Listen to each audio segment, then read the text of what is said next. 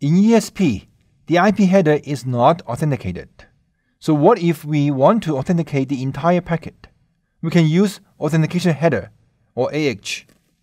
There are several fields in the IP header, for example, time to live or TTL, that may change in transmission. The values of these fields are not included or zero out when the message authentication code is computed. AH does not encrypt anything, but we can use ESP to encrypt the payload and then apply AH to authenticate the entire packet. If AH is used with transport mode, the authentication code is in the AH header, which is inserted after the original IP header. Other important IPsec information in the AH header includes the security parameter index and the sequence number. And again, we will discuss these shortly. If AH is used with tunnel mode, the AH header is inserted after the new IP header.